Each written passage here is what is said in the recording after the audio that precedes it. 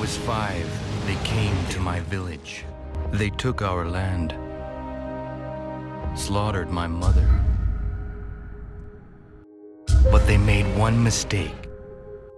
They left me alive. Um, I was told you could train me.